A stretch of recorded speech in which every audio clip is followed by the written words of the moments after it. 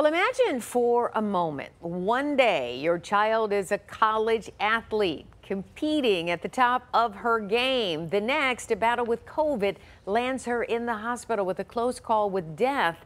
And at first, no one seems to know why. Well, now this family has a warning for others to dig deeper and learn what may be lurking inside you to take your breath away. Alicia Roberts is a powerhouse on the volleyball court. She suffers with asthma, but when that mixed with COVID, her breathing became a real struggle. Again?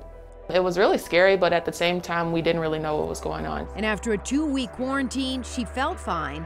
But nine months later, in December, she had severe shortness of breath. Doctors in the emergency room gave her steroids and an inhaler.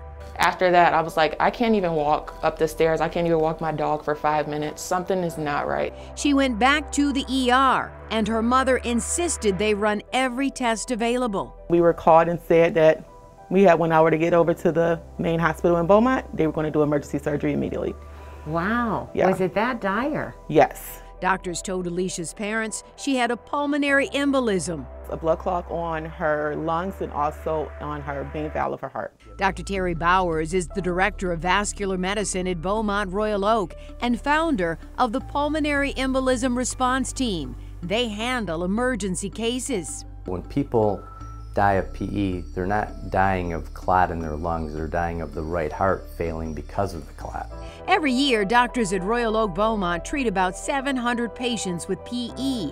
And if you count the entire health system, that number jumps to 2,500.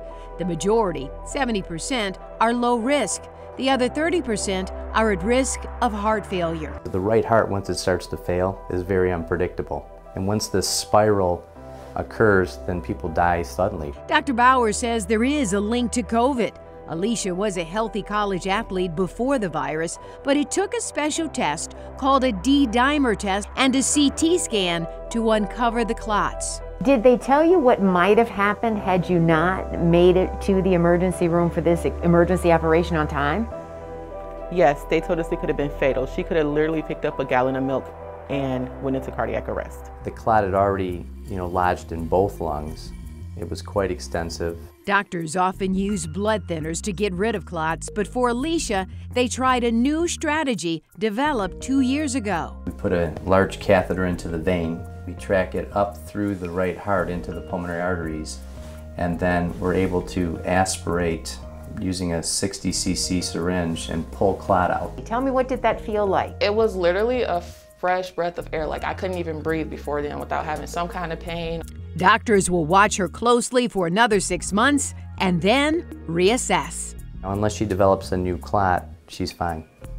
She'll be playing volleyball again. That could have been easily missed. Now, with COVID, there has been a major spike in PE cases like Alicia's. One in 10 people will have a potentially life threatening clot. So it's very important the public be aware of the warning signs, including difficulty breathing and chest pains when breathing in deep and swelling of your legs. So pay attention and go to the doctor if you have any of those warning signs.